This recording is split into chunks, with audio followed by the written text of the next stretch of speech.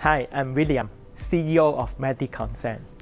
MediConCen is an insurtech company that aims to automate insurance claim using Hyperledger blockchain. As you have been all aware, insurance is full of paper and lack of automation. You, you will often be bothered with a tedious claim process, a lot of forms to fill in, and a lot of things to do before you get your money back our technology will change everything.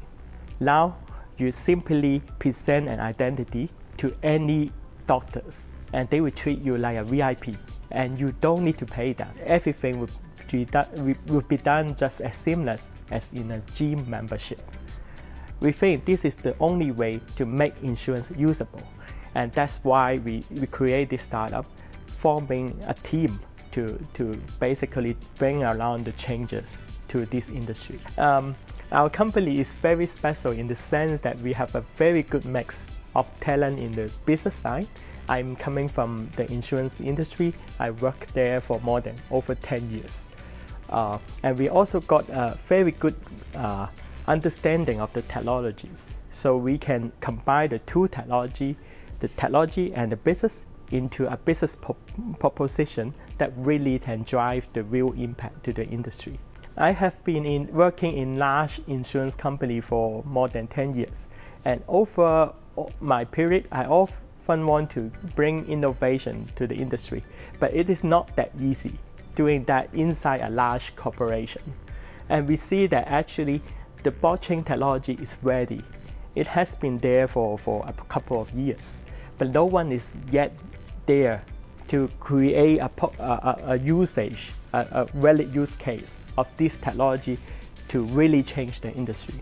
And that's why I think maybe uh, I should take the step and uh, try to realize the idea uh, into a real uh, production ready system. So uh, that's how we start. Um, and we think we never regret about this journey. Uh, Mizuho program is very, very helpful in uh, first, it is a really a good recognition of our capability and uh, and we, we, we got a lot of referral from Mizuho to different large corporations that we simply doesn't have the entry ticket if we are not in this program. And of course, uh, got very strong connection in the banking side and in Japan. And the New World Group got uh, all the connection in Hong Kong.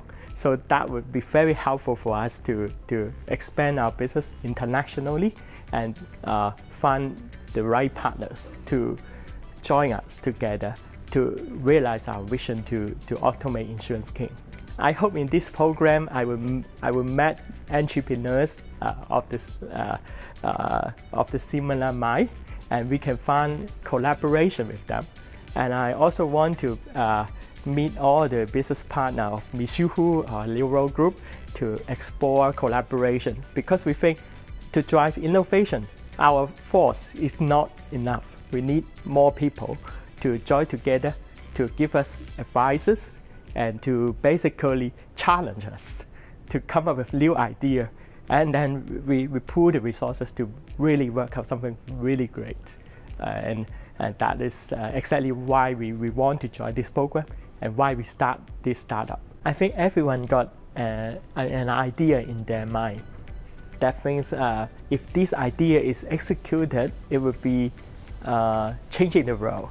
I think all of us got some idea like this. But uh, actually, innovation in my uh, mind is different from an idea. An idea is simply an imagination, and that is really far from bringing a real impact to the world what it matters is really execution. So uh, I think uh, innovation is a combination of imagination and really hard work to uh, do the execution. So if you have an innovative idea in your mind, don't keep it as an idea. You try, try your best to execute it. And that is where the innovation comes from. Startup is a hard journey. I think you, you probably realize that if you see this video. But then uh, it's also an exciting journey.